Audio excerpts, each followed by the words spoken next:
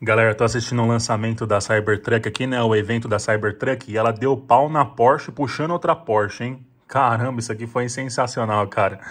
Simplesmente uma picape, galera. Isso aqui é uma caminhonete. Isso aqui é pra você andar na roça, pra você andar na fazenda, pra você andar em estrada de chão, dando pau em Porsche, cara. Surreal, inacreditável. Sabe uma coisa que eu acho que faltou na Cybertruck, galera? Tipo, na minha opinião, cara, sabe a única coisa que faltou ali pra Cybertruck ficar o fino do fino do fino do fino?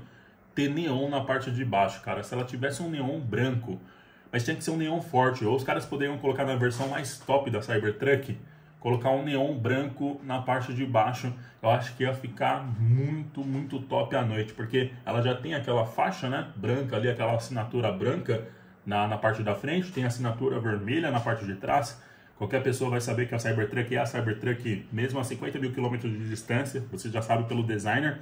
Mas se a Cybertruck tivesse um neonzinho branco, acho que só faltou isso para dar aquele finé. E você poderia regular se você quer que ele fique ligado ou não, né? Você poderia controlar como motorista ali se você quer que o neon branco fique ligado. Mas se ela tivesse um neonzão branco embaixo, cara, eu acho que ia dar uma estética, ia dar o visual. Eu acho que foi a, a cereja do bolo que faltou na Cybertruck, é só ter esse neonzinho na parte de baixo aí, mas eu achei muito insano, cara. Cybertruck deu pau aí na Porsche, puxando outra Porsche, cara.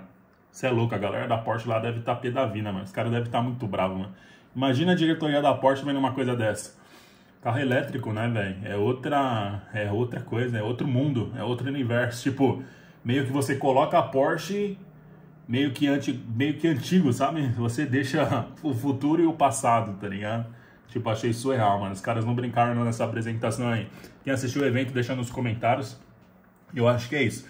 Tivesse um neonzinho branco ali, cara, na parte de baixo, ia dar aquele, aquele toque final que a Cybertruck precisaria aí pra fechar com chave de ouro. Essa daí é a minha opinião, beleza? Deixa um like, se inscreva no canal. Galera, tá tendo muita promoção de iPhone essa semana, hein?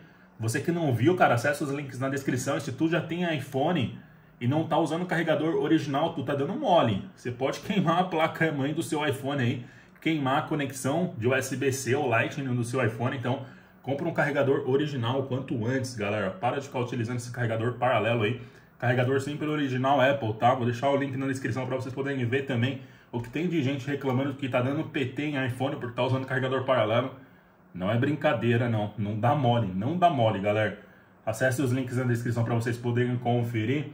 Vamos ver aí se realmente sai essa data aí especial de entrega, né, da Cybertruck aí, para ver se eles começam de fato a botar no mercado mesmo. Vamos ver se vai vir para o Brasil ou não, né, mas eu acredito que o preço aqui no Brasil vai ser realmente para um grupo muito seleto, vai ser para poucos aí ter uma Cybertruck na garagem.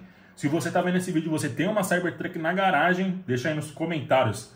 Você acharia legal se ela tivesse um neonzão branco na, embaixo dela, para você poder ligar e desligar a hora que você quisesse? Coloca aí nos comentários, eu vou gostar de saber, beleza? Valeu, até o próximo vídeo aqui do canal, galera. Se você gosta de tecnologia, esteja inscrito. Valeu!